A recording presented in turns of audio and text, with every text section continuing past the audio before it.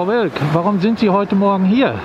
Also wir sind hier, um auch in Schwerin ein Zeichen zu setzen. Wir sind hier mit unserer Aktion Ohne uns geht nichts.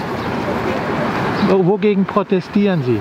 Wir protestieren nicht, sondern wir wollen die Aufmerksamkeit der Gesellschaft auf uns ziehen. Wir wollen hiermit klar machen, wie wichtig die Reinigungskräfte in, gerade in der Pandemie sind. Wir wollen, dass Reinigungskräfte ein Gesicht bekommen.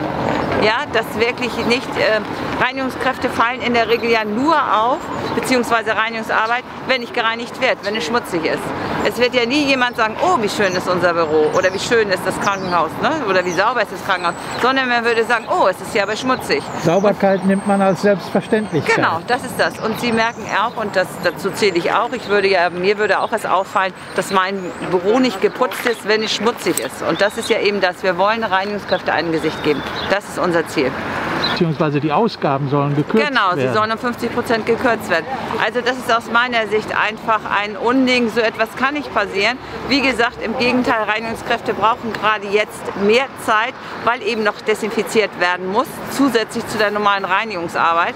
Und äh, es ist ein Unding, äh, Reinigungszeiten noch zu kürzen, was dann ja zur Folge hat, dass es dann zur Überbelastung kommt, wenn dann gereinigt wird, zur Arbeitsverdichtung, Leistungsverdichtung. Und das ist ja etwas, wo wir gerade gegensteuern wollen, gerade jetzt in dieser Zeit. Werden denn diese Sparmaßnahmen zu Arbeitsplatzverlusten führen? Ähm, das kann ich ähm, jetzt noch gar nicht absehen. Wir kommen ja, wir hoffen ja immer noch, dass es nicht zu dieser Entscheidung kommen wird, dass es immer noch ein anderes äh, Signal gibt. Das ist ja letztendlich das, worauf wir immer noch ein bisschen vertrauen.